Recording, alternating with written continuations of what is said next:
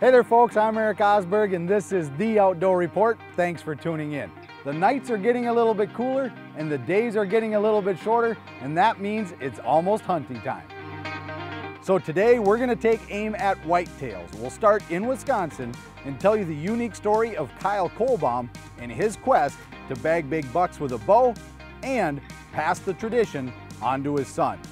Then we'll head to Houston County in southeastern Minnesota to see how Danny Thompson manages to get monster bucks year after year. All that plus a builder's tip and a savory goodness segment coming right up here on the Outdoor Report. The Outdoor Report is brought to you by Firebrand, the hottest brand on the ice. Northview Bank, you find it, we'll finance it. Little Falls Tourism, where the Mississippi pauses, discovery begins. Smude's Sunflower Oil and Chef Robert's Gourmet Breading Mix. Brainerd International Raceway, Lakes Jam. Power Lodge, Ranger Boats, and Evinrude. Ottertail Lakes Country, Yamaha Generators, Revs Your Heart, Excel Outdoors, Catch Cover Hard Nosed Fish House Products, and JT Custom Rods. Kyle Kohlbaum was raised on a farm in Iowa, so he understands the circle of life. He now lives near Ellsworth, Wisconsin, on a little slice of heaven. Hunting's kind of a big deal, you know, it's kind of a year-round thing for us. We enjoy it so much that uh, we do lots of different aspects of hunting. So yeah, I'm an, I would say I'm an avid hunter, especially a bow hunter. That's, our, that's the main thing. Bow hunting, whitetails is our main, our main focus. Kyle says he gets nearly as much enjoyment out of the preparation and planning aspect of bow hunting as he does from the actual hunt. Bow hunting whitetails, to me, it's, it's the challenge. It's getting a deer, you know, 15 or 20 or 30 yards away from you, and, and what comes with that is the, is the rush and, and the skill levels that you have to have with that versus shooting a deer at two or 300 yards. I just love the challenge of trying to, trying to get them, get them in tight. I just love that. Strategically placed food plots and understanding the lay of the land are part of Kyle's game plan. He even designates a portion of his property as off limits to ensure deer aren't spooked by too much activity.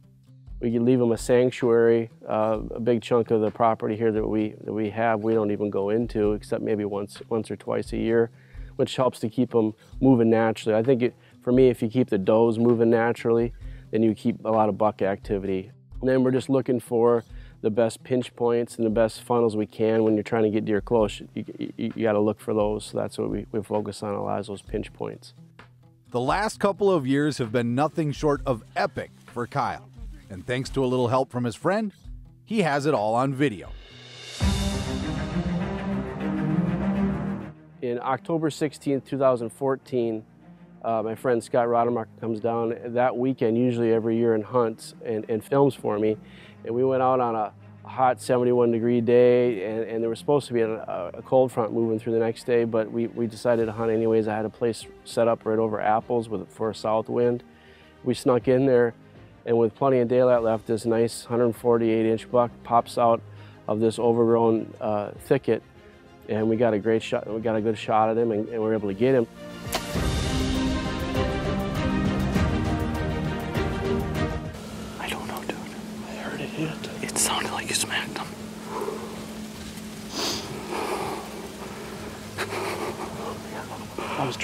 Way so long. Wait, I was starting to just. Oh my God! Just sit down. That is a good, good. Oh, that is a monster, buddy. I.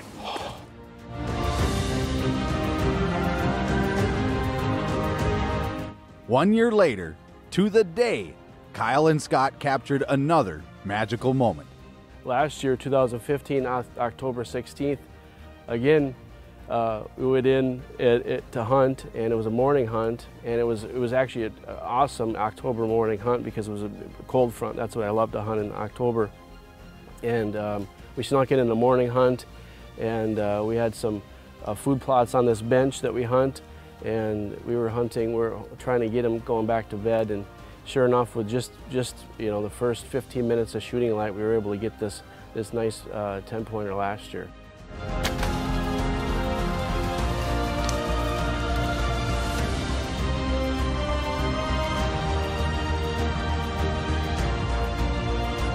Tracking the deer was a family affair, and they all got to share in the occasion.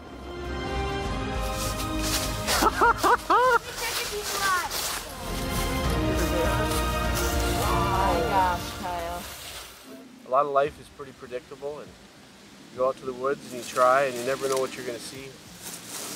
This guy came in just perfect this morning, and uh, I couldn't be any happier. So many things in our society are, are instant, you know, kind of microwave society we live in. And hunting's not that way most of the time. A lot of times you, you put the hours in, you, you shower, you get ready to go out, but you don't, you don't get anything. You get the experience, but you don't necessarily get uh, a, a, whitetail. And so it's kind of nice to learn a little perseverance, learn how to enjoy the moment, enjoy the, the moments out there, not just getting the kill. Coming up after the break, we'll show you how Kyle is passing those life lessons on to his kids as our celebration of arrows and antlers continues. The Outdoor Report is brought to you by Firebrand Fish Houses and Northview Bank. Fish houses aren't just for ice fishing anymore. There's a reason to own one year round. Firebrand features a durable, lightweight aluminum frame and all the comforts of home. Whether you're camping, hunting, or ice fishing, Firebrand has a model to fit the entire family. Firebrand, the hottest brand on the ice. Thanks for bringing us to your cabin. It's so beautiful and what a cute dog. Yeah, I love this place.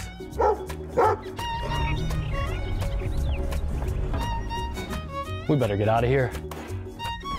Hey, what are you doing on my property? What's with the neighbor's dog? Need your own vacation property? You find it, we'll finance it. Northview Bank, northviewbank.com. In the heart of Minnesota exists a place overflowing with discovery. Whether you're biking the trails, wetting a line, or just soaking it all in, Little Falls is the perfect getaway. Tradition abounds in historic downtown and at the Minnesota Fishing Museum. Little Falls, where the Mississippi pauses, discovery begins.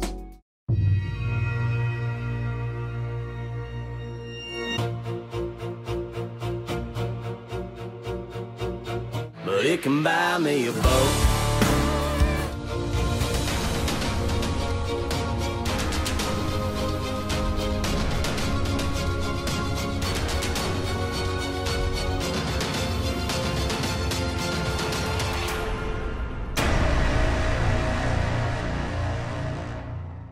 The Outdoor Report is brought to you by Little Falls Tourism, Lakes Jam, and Brainerd International Raceway.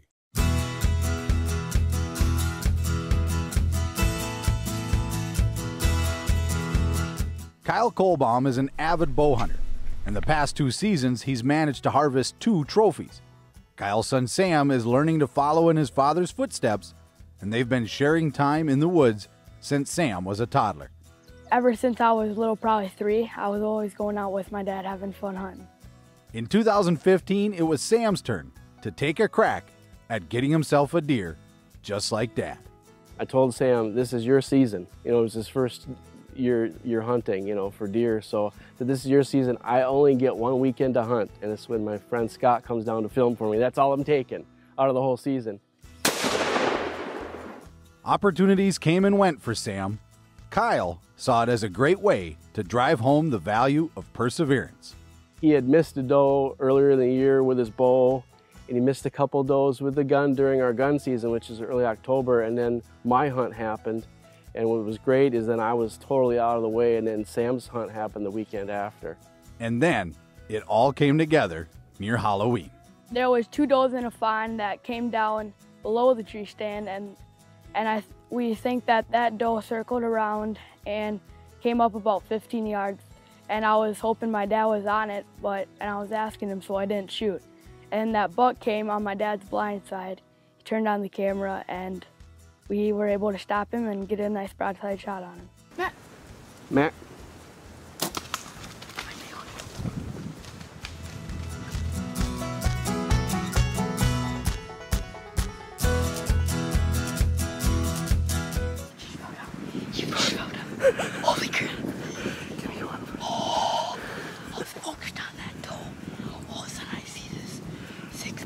scherzi.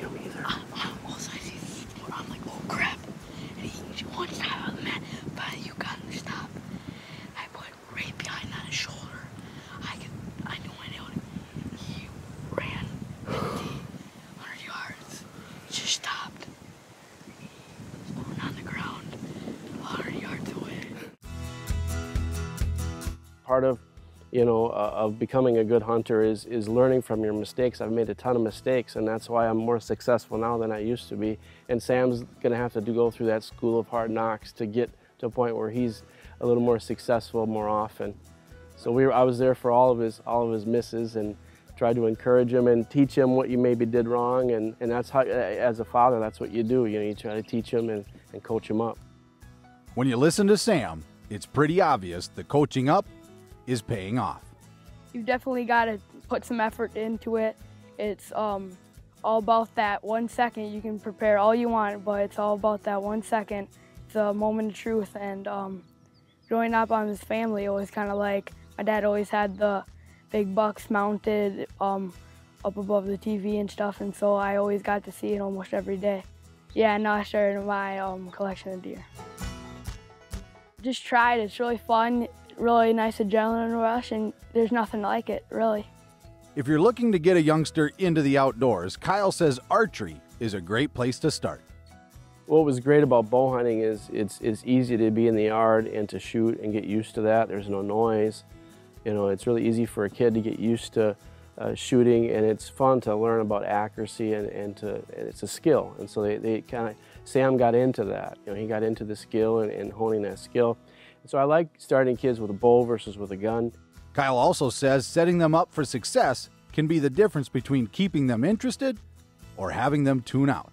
Having them have some positive experiences early, I think is the key. If you can get them to have some, you know, have them catch a fish, have them, have them see you uh, enjoying the outdoors, just some positive experience that they'll build and eventually it'll, it'll get into their blood a little bit. Telling this story wouldn't have been possible if Kyle and Scott hadn't filmed their hunts. It's another way to make each outing more intense. Filming the hunt adds another level of stress uh, and tension, which actually makes it more exciting when it all comes together. And then it's just, it's, it's, you know you've preserved that memory for your grandkids, for your friends, for my, you know, my grandpa in Iowa could watch it. People all, all over, my friends and family could watch that hunt and experience a little bit of what I love. And, and, so it's great to bring that to people and you preserve that memory for, for your whole life. So that's, that, I love that about it. It's just preserving the memory and, and capturing those moments because that's what it's about. It's those moments with, with, with your friends and family. Even though it can be challenging, Kyle says filming hunts doesn't need to be intimidating. Scott Rademacher and uh, Wesley Gull were, were two friends of mine that got me into filming. And really Sam's hunt last year was the first hunt I really ever filmed. And so it's, it's, uh, I'm still new to it. You don't have to have, I bought a used camera for about five or six hundred dollars, which is still a nice camera, but it was used. And it just got me out there, got me filming, got, got me used to taking along. And so uh, the filming aspect is, is, I still have a ton to learn. But you don't, have to, you don't have to be professional to do it. You just have to take a camera out and try to get in focus and try to, try to gather those memories up. Gathering and capturing memories is what the hunt is all about. And it's another way to continue the circle of life. Still to come, we're heading to Bluff Country in southeastern Minnesota to get some tips from Danny Thompson about getting the right deer this year. So stay tuned. The Outdoor Report is brought to you by Northview Bank and JT Custom Rods. This land is beautiful. I'm sure it's great for hunting. Yep, there's a few really nice bucks around here. This would be a nice place to build a house. Oh, I just come out here to hunt and get away from it all. Hey, you're on my property. Can't you see the sign? Run! What? I thought this was your land. Need your own land? You find it, we'll finance it. Northview Bank. NorthviewBank.com. Are you looking to up your game? Then get your hands on the new JTX Mag from JT Custom Rods. A cutting edge carbon fiber blank and nickel titanium alloy guides give you the edge. It's the most sensitive and responsive rod money can buy. Go to JTODP.com, enter the Outdoor Report promo code, and get 5% off your entire order. JT Custom Rods, redefining fishing. From big waters to the shallows and the whole outdoors, the aluminum rig you've always wanted is here. Packed with features, now you can enjoy the legendary ride, quality, stability, and peace of mind from Ranger. Coupled with Evinrude E-TEC's unrivaled performance and 300 hours with no dealer schedule maintenance, every Ranger aluminum boat is engineered to excel and priced to be yours. Power your Ranger with Evinrude E-Tech. We as avid waterfowl hunters can never get enough storage.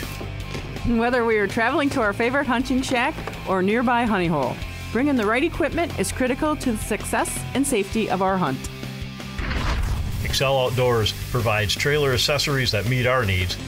Cargo trunks and cargo racks keeps all of our gear really dry and easily accessible. Excel Outdoors. Organize your life outside. Hey, you with the cell phone, look up here for a second. As long as you got that thing in your hand, use it. Go to the Facebook or the Twitter or the YouTube and look us up. We know your phone is important to you, and believe me, it's important to us too. But we want this show to be as interactive as humanly possible. So, if you see a hashtag on your screen, use it. Or go to our Facebook page and post a picture there, and we'll repost our favorites. Hope you like the rest of the show. The Outdoor Report is brought to you by Power Lodge, Ranger Boats, and Evinrude.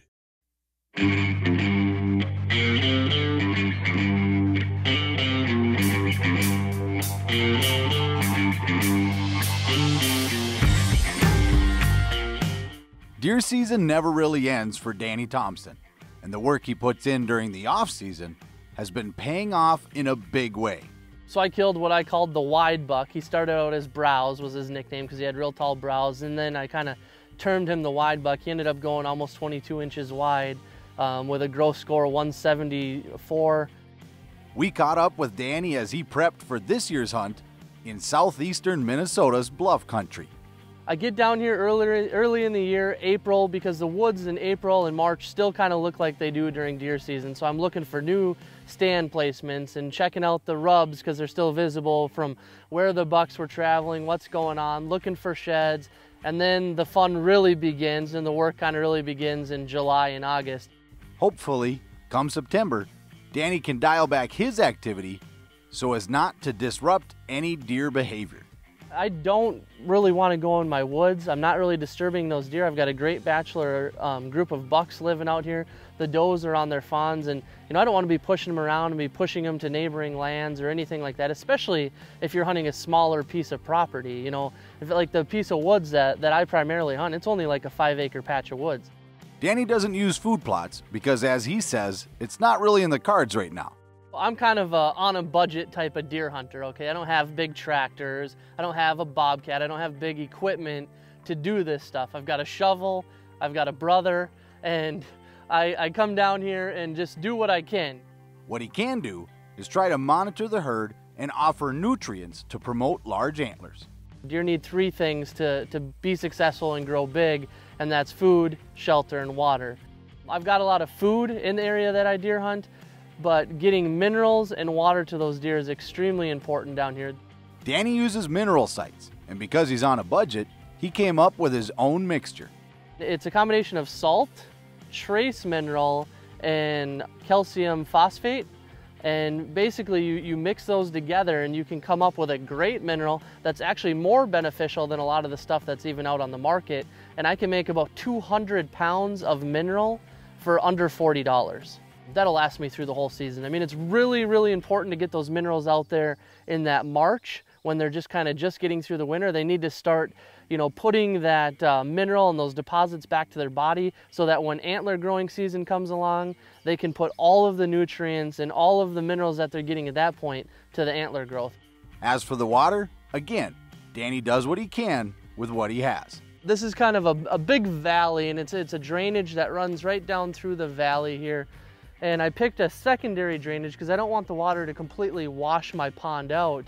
Um, but the water will flow right down into this spot essentially um, with everything working like it's supposed to.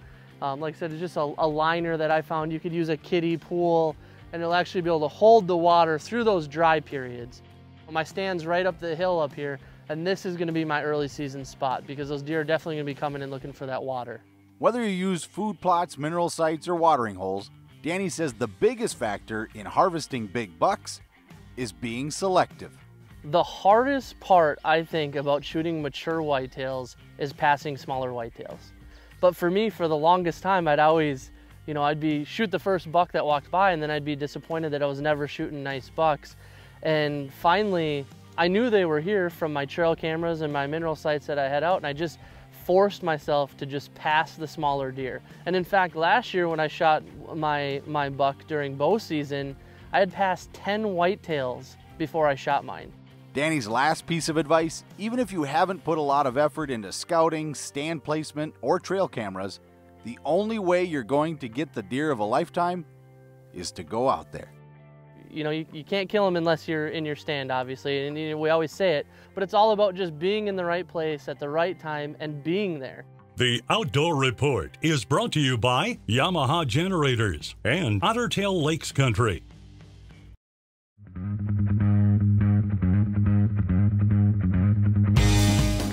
Want outdoor power that's super lightweight and ultra quiet with world-class dependability and quality? Then you should check out the new Yamaha EF2000i SV2. The I stands for inverter, which means it puts out the cleanest power you can get to safely operate today's sensitive electronics. The V2 means it's a whole new generation. Hey everyone, it's me, the Inner Otter. Everybody knows Ottertail County, Minnesota is a great place to stay, play, and dine. But did you know there are a lot of great opportunities to live and work here too? Here's an otter one just for you. Live in the heart of Ottertail County, Minnesota. The cities of Battle Lake, Ottertail, and Henning offer you quality of life, affordable housing, and jobs. For more information or to find your inner otter, visit ottertaillakescountry.com.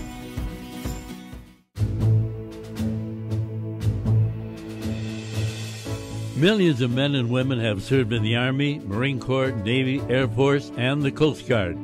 Many were wounded in battle. Many died to make us free. The least we can do is to remember them. Please go to bethart.org today and donate any amount to help finish this unique art monument. It's located in the committal hall at Minnesota's First State Veterans Cemetery. Thank you. The Outdoor Report is brought to you by Crossings by Grand Stay Hotel in Parkers Prairie, Minnesota. So we're at a point now where it's time to rough in the holes. This is a fish house after all, so we got to make sure that we get the, the holes where we want them so we can get fish through them, hopefully. So I'm here with Trevor Sumption of Catch Cover. Trevor, how do you recommend folks go about getting their holes in the right place? Well, the first thing is planning. So you need to decide where you want the holes. Okay, so obviously you want to make this a one-time deal. Um, so the, the most important thing is planning it, making sure you've got the holes where you want them, making sure you don't have any of your superstructure underneath where you're going to put them. So just kind of double checking all that stuff. And uh, beyond that, of anything you do in this fish house, this is going to be the easiest step to finishing the house is, is to actually put the holes in lay the hole where you want it. One thing I like to do is I like to have the hole out at least three inches from the wall, and I do that for drilling. So now we're just gonna lay this in, in the spot, trace around it.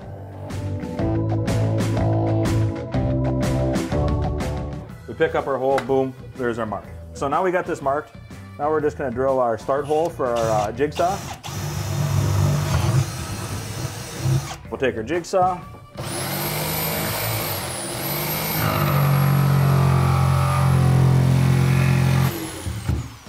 since this floor is spray foamed, we're gonna have to loosen that up a little bit. So we're just taking a regular, like a sheetrock saw, and just opening that up.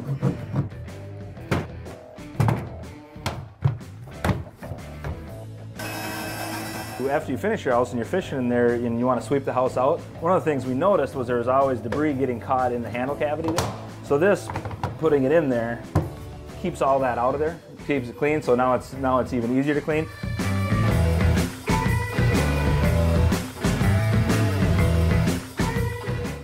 It's time now for some savory goodness.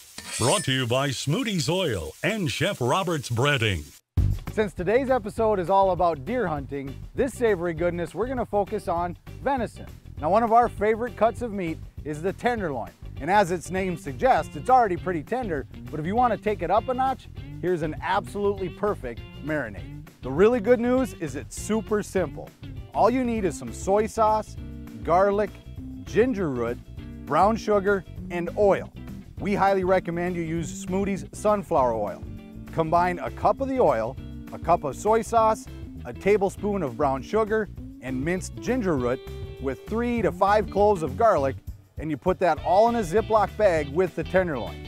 Next, you put the tenderloin in the fridge for three days. That's right, I said three days. If you don't have three days, just let it be in there as long as it can be. Once it's in the fridge, be sure to massage the bag every once in a while to make sure you work in the flavor. Now when you're ready to cook it, you lightly coat the tenderloin with some Chef Roberts gourmet breading mix, and then you can either bake it, or our favorite is to grill it.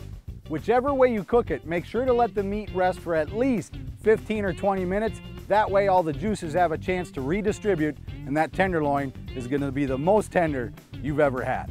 And that is some savory goodness.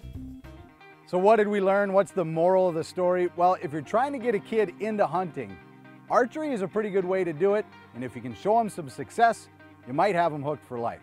Secondly, there's a lot of things you can do to increase your odds of success when it comes to deer hunting, but the number one thing you need to do is you need to be in the woods. So remember, it's not about having time, it's about making time. I'm Eric Osberg with your Outdoor Report.